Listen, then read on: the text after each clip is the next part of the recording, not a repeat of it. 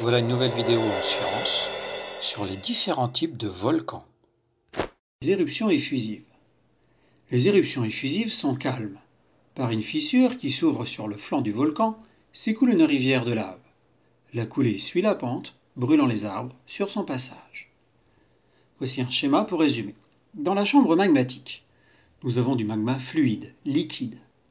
Il remonte par la cheminée, passe par les couloirs latéraux, mais aussi il monte jusqu'au cratère.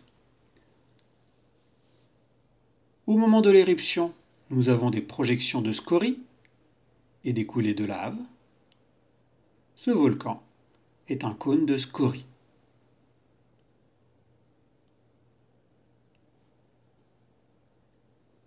Les éruptions explosives. Les éruptions explosives sont très violentes. Des explosions projettent en l'air un panache de cendres, du gaz et des blocs de roches arrachés du cratère. En plus, une nuée ardente composée de cendres brûlantes et de gaz dévale rapidement le flanc du volcan.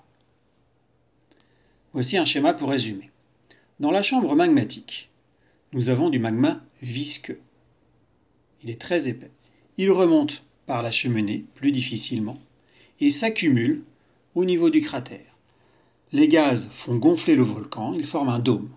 Au moment de l'éruption, nous avons un panache de cendres, de gaz et de blocs qui monte à des dizaines de kilomètres, et une nuée ardente qui dévale la pente du volcan. Maintenant, c'est à toi de jouer.